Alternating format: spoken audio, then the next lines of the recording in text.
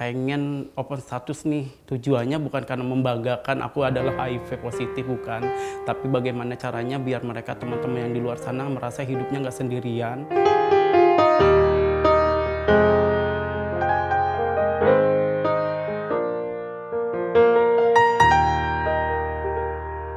Perkenalkan nama gue Vito, usia gue 36 tahun, gue adalah orang dengan HIV. Saat ini gue bekerja di Yayasan Pesona Jakarta dalam penanggulangan HIV dan AIDS. Waktu itu gue kerja di salah satu restoran, tapi gue juga uh, side jobnya sebagai penari. Jadi waktu ada pensi di salah satu universitas di Jakarta Timur, gue periksa ditarik nih sama teman-teman kalau ada pemeriksaan nih ada booth pemeriksaan HIV yang kemudian ditarik teman-teman gue periksa ya karena memang ya udahlah karena bercanda dengan teman-teman semua juga pada periksa gue ikutan periksa gitu. Dan pada akhirnya gue nunggu sekitar dua jam dan hasilnya positif. Menahan sedih menahan kecewa karena posisi di situ aku lagi bekerja teman-teman pun banyak di mana biar HIV aku ini nggak ketahuan sama teman-teman jadi aku ya seperti biasa mereka kenal aja ketawa riang padahal setelah pulang ke rumah tutup kunci kamar nangis udah kayak udah gue pasti bakal cepet mati karena saat dulu itu eh, apa namanya HIV itu ya udah lu akan mati cepat gitu.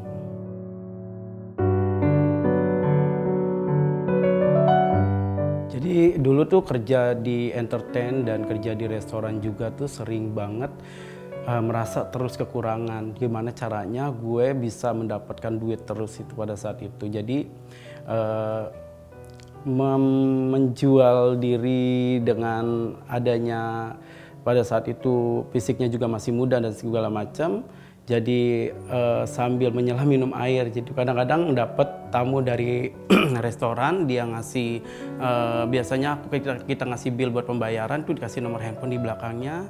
Terus kemudian dari situ kita mulai dulu nggak ada WhatsApp kita teleponan atau SMS-an cuma nego-nego harga ya udah kalau deal kita main ayo lanjut. Tapi ya itu resikonya kalau lu mau dibayar besar lu nggak usah pakai kondom. Dan itu gua ngelakuin itu. Dan akhirnya dari dari melakukan pekerjaan itu sambinya nyambinya itu akhirnya gue kena dari situ. Dari seks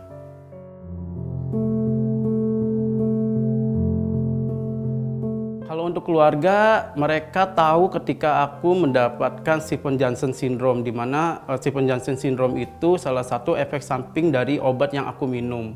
Dan di saat aku minum itu di salah satu rumah sakit di Jakarta Utara, kondisinya aku lagi kritis, otomatis kan dokter ini uh, apa, ngomong semua ke keluarga kan, tanpa sepengetahuanku. Karena memang waktu itu sifatnya urgent jadi harus dikasih tahu keluarga bagaimana cara perawatan aku nantinya uh, dari keluarga. Jadi itu yang uh, mengharuskan dokter bercerita tentang status HIV ku. Dan apa ya gue jadi berpikir oke okay, nggak apa-apa uh, di saat pengobatan selama apa uh, di rumah sakit belum tahu kalau kalau mereka ini udah tahu. Karena mereka ini ya pas tahunya pas aku udah keluar dari rumah sakit kemudian baru ada beberapa beberapa tindakan yang kayaknya mereka udah tahu. Stephen Johnson syndrome itu buat badan gue jadi turun drastis. Yang awalnya 68 jadi 43 kemudian CD4 gue itu 30 karena CD4 pada manusia normal itu 500 sampai 1500 pada saat itu gue 30 dan mungkin berkurang karena uh, semakin kurus badan gue. Kemudian uh, kulit semua nempel karena semua harus dialasin dengan kain. Bahkan telapak kaki pun harus uh, apa, harus dengan ada kain karena agar tidak ada kulit yang menempel di lantai kemudian setiap bangun tidur setiap dibersihkan itu kuku kuku satu persatu tuh bisa copot.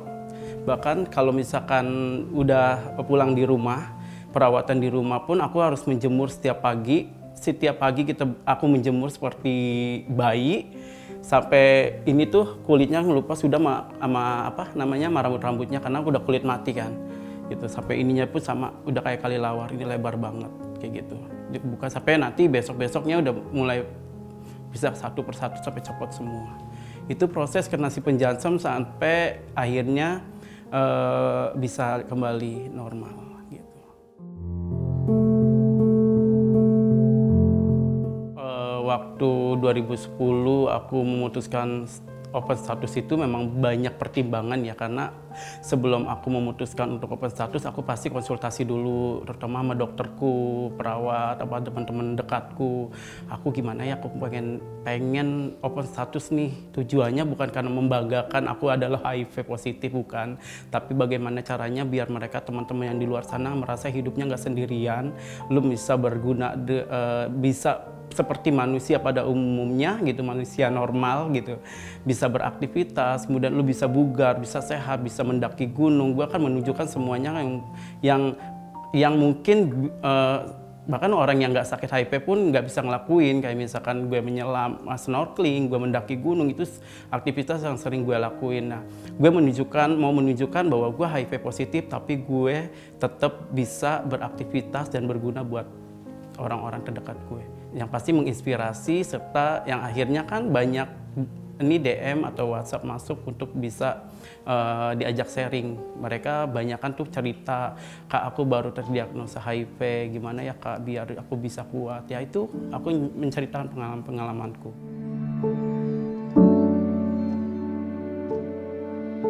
Kalau dari kerjaan awalnya karena waktu sakit itu dia bilang ya udah uh, sembuhin aja dulu penyakitmu. Kalau udah baikan balik lagi ke sini. Tapi nyatanya ketika gue balik lagi ke kerjaan gue ditolak dan tidak mendapatkan kompensasi apa pun. Uh, dapat apa pun nol. Terus kemudian kalau dari keluarga itu gue ngelihatnya tindakan-tindakan uh, mereka yang kayak misalkan ponakan-ponakan gue ini masih kecil-kecil nggak boleh gue gendong. Kemudian uh, mama gue ini kalau bikin apa buah-buahan yang biasa di satu piring kita makan rame-rame itu gue dipisah piring sendiri. Karena alasan dia kamu lebih banyak butuh makan buah-buahan yang biar biar badan sehat. Tapi di sisi lain gue berpikiran enggak ini bukan bukan karena gue sehat ini karena kalian masih masih tidak menerima bahwa gue kena HIV.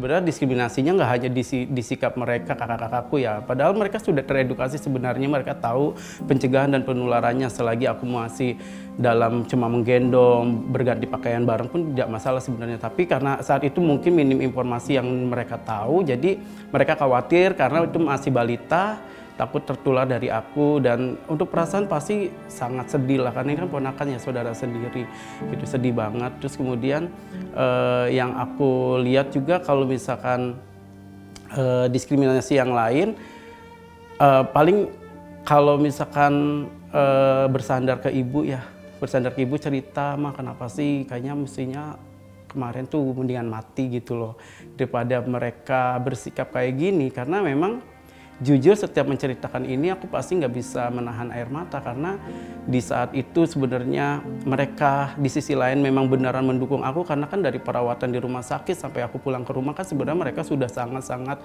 peduli dengan keberadaanku gitu loh dari sakitnya parahnya aku. Tapi masih ada sikap kayak gitu ya aku juga tidak bisa menyalahkan karena memang uh, itu yang mereka ketahui pada saat itu gitu loh. Ya pasti sedih dan sedih banget sedih banget sih. Penangis pernah di depan mama gitu. Dilus-lus kepalanya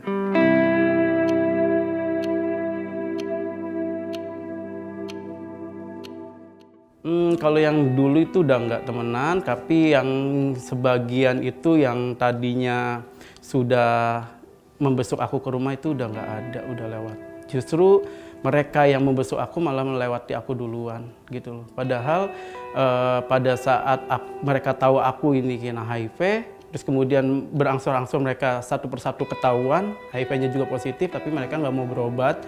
Ada yang nggak mau karena melihat aku kayak minumnya seumur hidup gitu. Gue nggak mau minum seumur hidup. Terus gue nggak mau nih kalau sampai orang tua gue tahu, kemudian gue usah minum. Akhirnya kan lewat.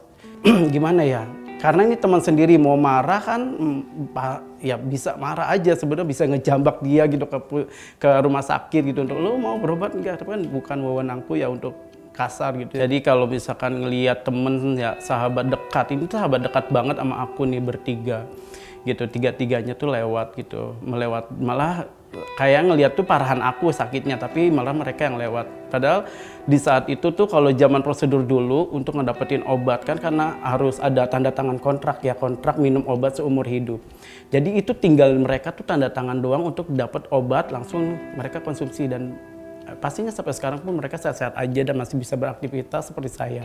Tapi karena nggak mau gue juga nggak bisa berbuat banyak hal kecewa pada diri sendiri ya pasti gitu loh marah pada diri sendiri pasti tapi kan nggak bisa nggak bisa berbuat banyak hal karena ini terkait diri mereka sendiri gitu.